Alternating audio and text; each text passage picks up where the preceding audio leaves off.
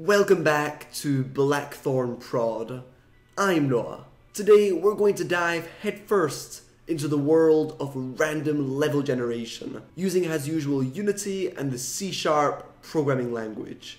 I've already made a few tutorials on random level generation, both aimed at beginners. One on how to spawn random objects at random locations, the other on how to make a Binding of Isaac style dungeon. In this brand new tutorial series, we will create a random platformer level generation system, identical to the one found in the amazing game Spelunky.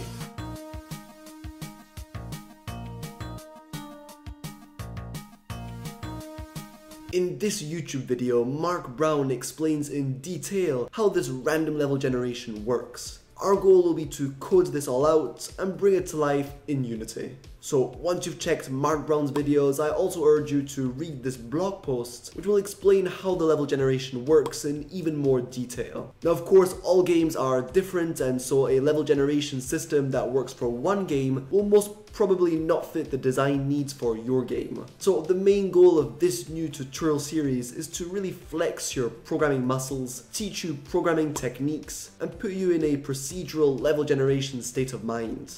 It's also going to be loads of fun, so I hope you'll join me on this adventure, which should last 3 to 4 videos max. Once you're done, you can of course try building a whole game using this level generation system. That's completely up to you. Lastly, this tutorial series is aimed at intermediate level game developers. Basically, you should have a solid understanding of the basics of C Sharp and Unity before watching these videos. If not, you might find some stuff pretty hard and confusing.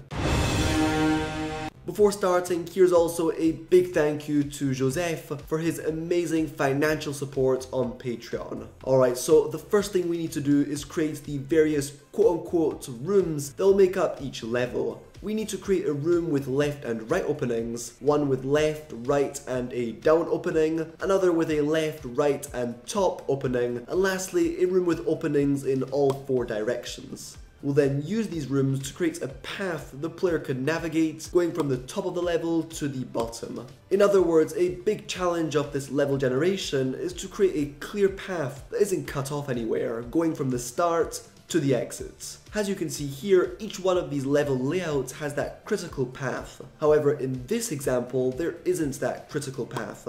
As you can see, the player would get stuck at this point and wouldn't be able to reach the exits. That is something we definitely don't want happening. Anyway, once the main path generated, random rooms will then spawn to fill up the rest of the level. Here we don't need to worry about whether some of these random rooms are closed off or not, since they're not part of that critical path from the start to the exits. If the player really wants to access those rooms, he'll have to destroy the terrain using bombs for example. So I'm going to create an empty game object, I'll reset its transform component, and I'll call it room LR for left right. You guessed it, I want this room to have openings on the left and right. I'll give this empty game object a little red gizmo so I can more easily see it in the scene view. Holding down control to enable snappy movement, I'll snap this room LR right here so it's placed in the middle of this section of the Unity grid. This is how big each room will be. Now of course you can make your rooms as big or small as you want. For those who don't know, you can tweak your snappy movement settings under Edit snap settings. I currently have mine set to 0.5 for the X and Y axis, meaning that when I hold down control and move an object around the scene, that object will move of little 0.5 increments along the X or Y axis, which is really useful when you want to be very precise in your placements, as is the case right now. It's important this room LR empty game object is right in the middle of this area of the grid. With that done, I'll create another empty game object called spawn point and I'll reset its transform position. I'll then give it a yellow gizmo and parent it to the room LR empty game object. Holding down control for a snappy movement, I'll place it at the bottom left corner of my room. As you can see, this spawn point is placed right in the middle of this little square. Its job will be to spawn a little tile the player can then walk on. I've gone ahead and made a simple tile sprite. I'll add to it a 2D box collider and then turn this tile into a prefab. And I'll create the very first C-sharp script, which I'll simply call spawn object, and drag and drop it onto the spawn point. Opening up inside of Visual Studio, I'll create a public game object array called objects, and in the start function, I'll want to instantiate a random object from that object's array. So I'll create an int variable called rand and set that equal to a random number between 0 and the amount of elements inside of the object's array. All I then need to do is instantiate an object in that object's array with an index equal to rand at the spawn point position and with no rotation. Back in Unity, I'll drag and drop inside of my objects array my tile prefab and hit play, and you'll see that the spawn point has indeed instantiated the tile. If I had multiple tile prefabs, each with a different visual, and I drag and dropped those into that same array, you'll see that each time I press play, I get a different tile because remember, we're choosing to spawn a random object from the objects array.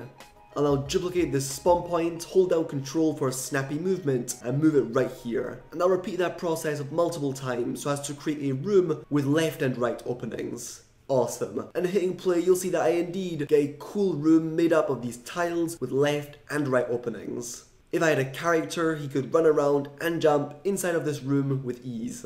Seeing that the room is made up of tiles, it would also be pretty easy to make all this destructible, like in Spelunky, and create holes in the level using bombs for example. Anyway, I'll now turn this room LR into a prefab, and now I'm going to go ahead and make some more rooms, such as one with left, right, and a bottom opening, which I'll also turn into a prefab.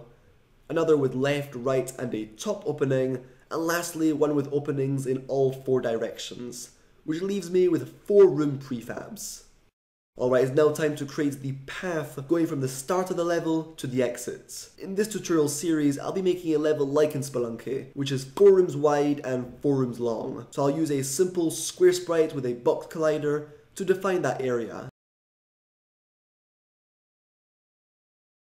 And I'll then make an empty game object called level generation. I'll then make a new C-sharp script called level generation, drag and drop that onto our newly made empty game object and open it up. So I want to randomly choose a starting position to spawn the first room of the level. So here, here, here or here. To do so, I'll make a transform array called starting positions, and in the start function, I'll create an int variable called rand starting pose, and set that equal to a random number between 0 and the amount of elements inside of the starting positions array. Then I'll set this level generation game object's position equal to a random starting position.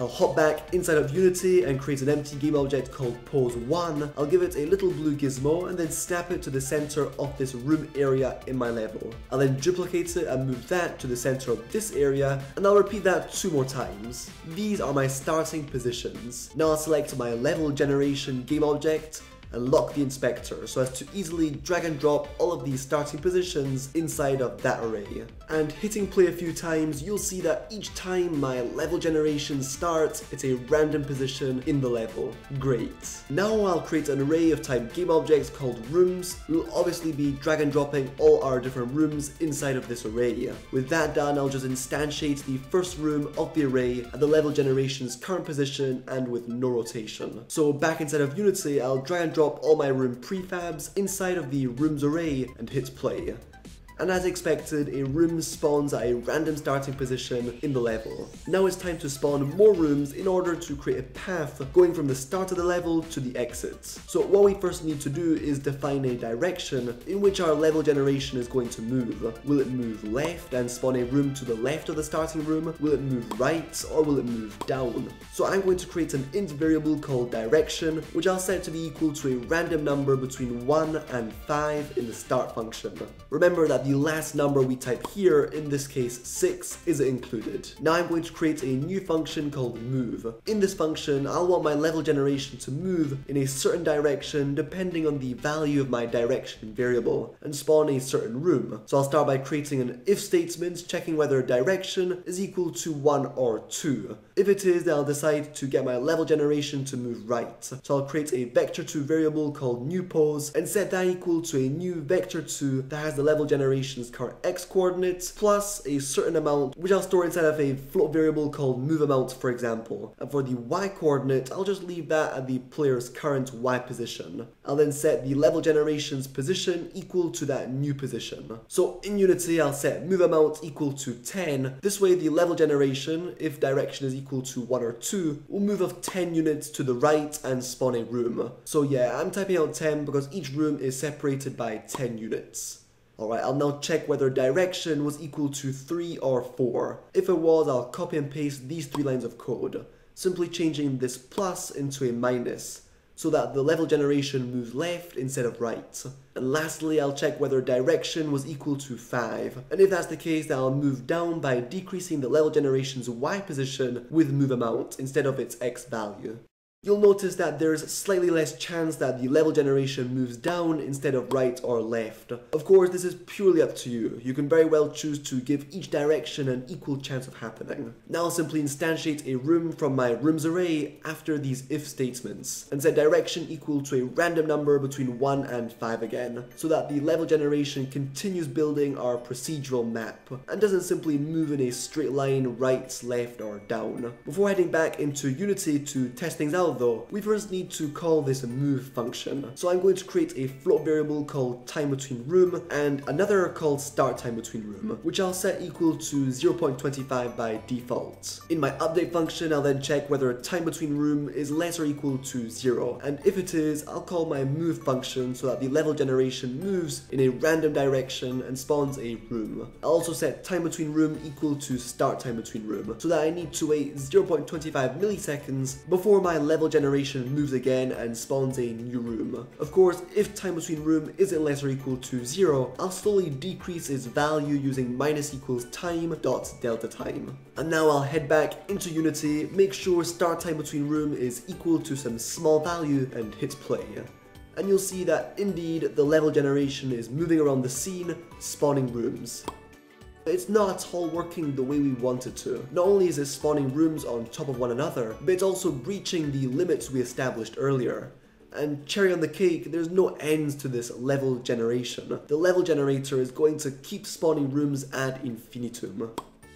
So there's plenty cool things to be done before we can call this random level generation complete. For now though, great job for having watched the whole video. I hope you're as excited as I am to complete this project. If you have any problems or don't understand something related to this video, don't hesitate asking me a question in the comment section down below or via the BTP Discord server, and me or some other member of the community will try helping you out. You can expect episode 2 to come out in 2 to 3 days. There we will complete the code that gets our level generator spawning a clean path from the start to the exit of the level. Until then, you can support me and my channel by hitting the like and subscribe buttons. It's just so motivating and appreciated.